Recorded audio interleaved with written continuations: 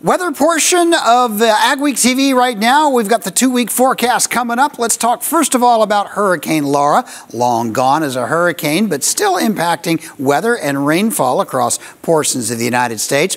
Two things are impacting the weather of the agricultural section of the Midwest and Great Plains. It's cooling down quite a bit in the northern part, starting to get a little early fall weather. And rainfall pattern now is shifting into a very definite dichotomy. It's dry in the west and it's rainy in the east. And some of that does have something to do with uh, the remnants of Laura. Jet stream pattern right now starting to look much more like a common September pattern, much more higher amplitude, starting to see some little shifts and splits in the jet stream from time to time. Hot weather confined to the south, cooler weather starting to penetrate the north. Now, let me clarify when I show hot this time of year, I'm talking about highs at least in the 90s and maybe in the hundreds. When I'm talking cool, I'm talking really cool. Not just a cool day like 70, but the cool air is like in the 50s, like below 60, in the 50s or in the 40s even for highs. That's what I'm talking about for cool weather. So with the jet stream beginning to show some signs of diving into the central U.S.,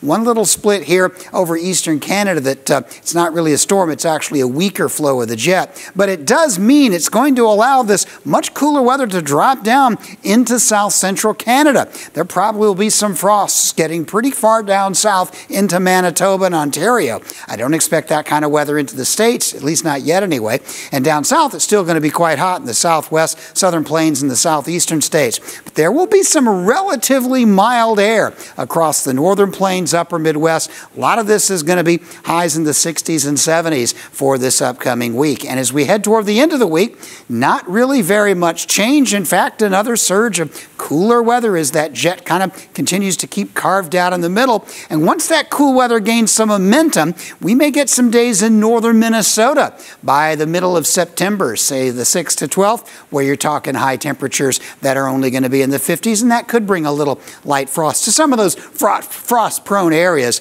of northern Minnesota. I don't expect that will overtake the country. Rain wise, the remnants of Laura take up residence in the middle Atlantic states, and there will likely be some torrential rainfall this week associated with that. Central Plains and the west looks mostly quite dry. The second week, now we're talking Labor Day weekend and the week that follows, September 6 to 12, still looking mostly pretty dry across the west, still looking fairly rainy in the east, so the Corn Belt will still have its uh, showers, still get some chance to uh, get a little more water on some of those fields, but the Great Plains from North Dakota down through Texas Texas is looking fairly dry the next couple of weeks. It looks like it's going to stay that way, dry and cool in the north.